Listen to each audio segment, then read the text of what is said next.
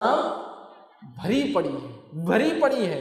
खुद माई आयशा रजलनहा नबी अकरम सल्लल्लाहु अलैहि वसल्लम की वफात है इनकी उम्र अठारह साल। जो कि ऐसा इल्म रखती विरासत का मीरास का कि बड़े बड़े साहबादून आके खड़े होते आपके दरवाजे पर और पर्दे के आड़ से सवाल करते हैं माई एक सवाल है विरासत का और आप चुटकियों में जवाब देती इल्म विरासत?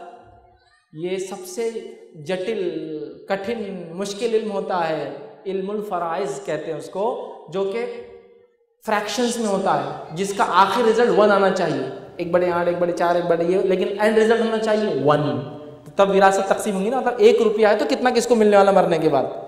सबसे मुश्किल इल्म होता है और बहुत सारे लोग पजल हो जाते हैं, है ना? उलमा से भी आप बात की जो कहेंगे इल्मुल फ़राइज सबसे मुश्किल होता है, वो सब्सट्रैक्शन निकालना उसका हल। वो भी बोलते कई बार उलमा से बात करो, बड़े उलमा से बात करो, भाई ये मसाइल हमको नहीं समझते। होता है ऐसा। माई आयशा ऐसे चुटकियों में जवाब देती लोग आके पूछते और आप कहती इसको इतना इसको इतना, इसको चले जाओ, चले गए साहब।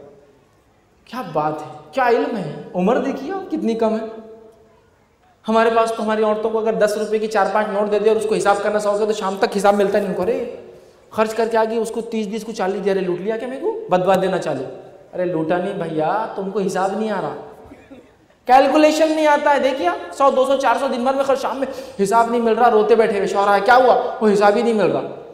तो इतना मुश्किल है हिसाब। और फ्रैक्शंस इल्मुल फराइज, वो इल्म आपको था और आप चुटकियों में साहबा को जवाब देती और साहबा जवाब लेके चले जाते ये बात है हमको सीखने